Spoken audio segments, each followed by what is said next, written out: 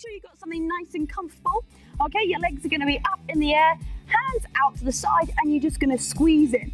So you're just lifting that chest up off the ground. Try and keep those legs as straight as you can, and always really squeezing that back flat into the ground. Okay, so keep it going. We're just gonna squeeze up. Now I want you to hold at the top, little pulses. So you're just really trying to squeeze that into the ground okay? At the same time, trying to keep those legs straight. I know lots of things to remember, but you'll get there eventually. So keep squeezing for three, two, one.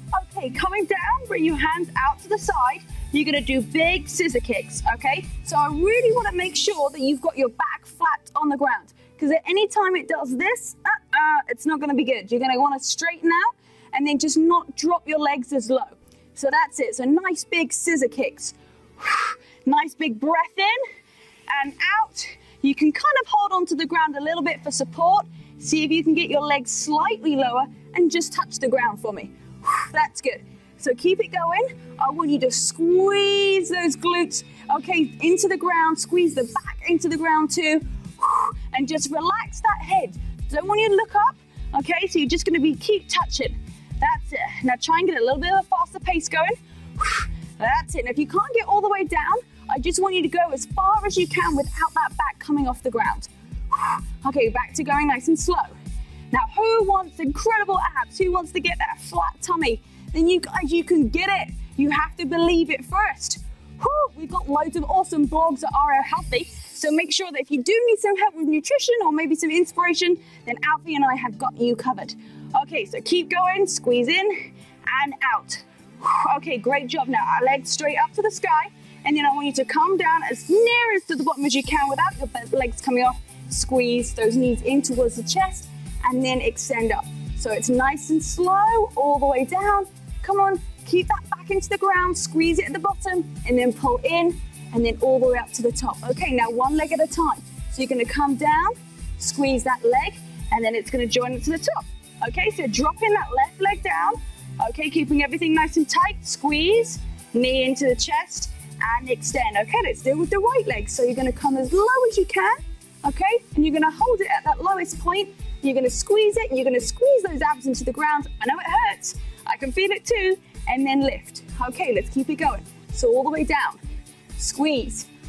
Now guys, if you're watching telly, you can have this workout video in the background so that you're actually multitasking and getting really great results as well as watching your favorite TV show. So squeeze all the way down, and up. Okay, let's take both legs down again. You should really be double feeling the pain right now. Double feeling that burn.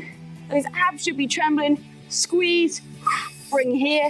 Okay, great job. Now just planting those feet flat on the ground. Okay, we're just gonna lift up that chest and we're gonna touch our heels. Okay, so working those obliques. Guys, it's only 10 minutes. Can you imagine if you did 10 minutes every single day of abs and you ate well, oh my goodness, you're gonna have a bikini body in no time. But remember, it doesn't happen overnight. It's gotta be one pound at a time, one ab workout at a time. You just gotta stay consistent. Okay, let's keep it up. Keep that chest up. Now hold it here. I just want you to do a nice eccentric hold. That's it. Squeeze in. Bring those shoulders a little bit higher. Relax that. Can I just try and relax that neck for me? That's it. For three, two, one. Okay, relax down. And want you to do is come onto your side. Okay, so we've done those side planks before. And we need to lift up, but you're gonna bring the knee in towards your chest, okay? So option number one, you're gonna come onto your knee and you're just gonna hold up.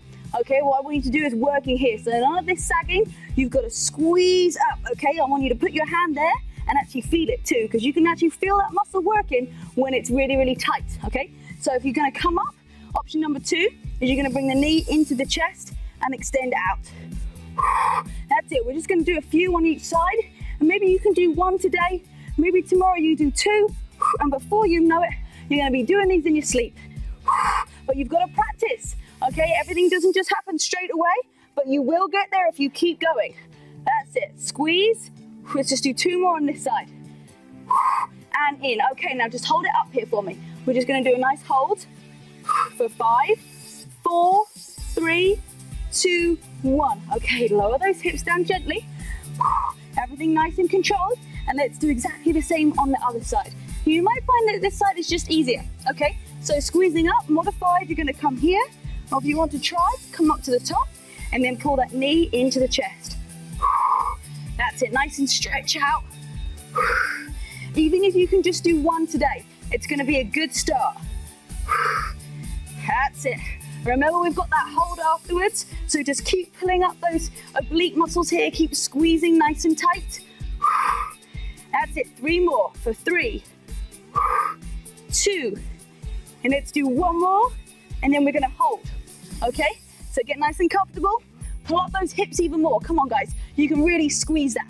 Up it goes. For three, two, one. Okay, relax down. Now come over. We're gonna do one of my favorite moves that I like to do on the beach. It's one of my sea creature moves, which is a starfish.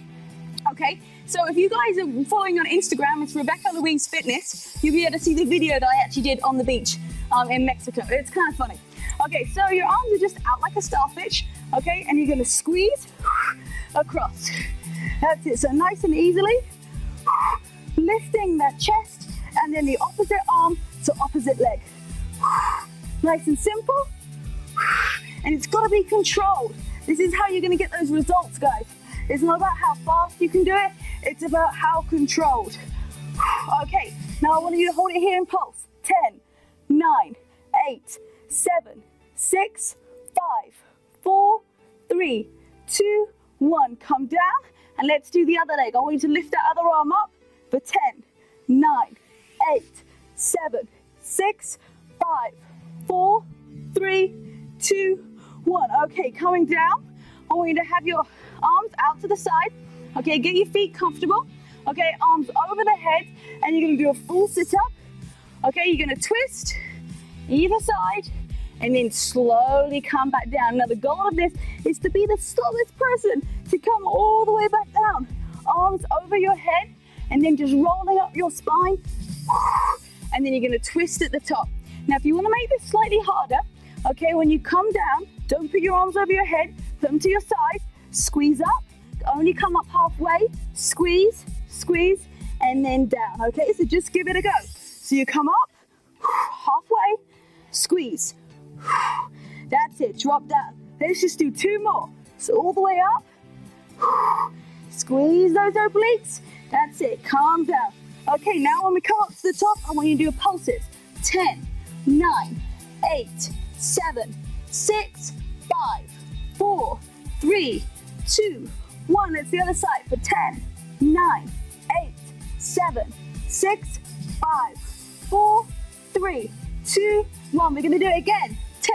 10, 9, 8, 7, 6, 5. Lean back a little bit more. Three, two, one. Last set. One, two, three. Come on, lean back a little bit more. 5, 4, 3, 2, 1. Relax down. Pull those knees in towards the chest. Give yourself a little kiss on the knee. Okay.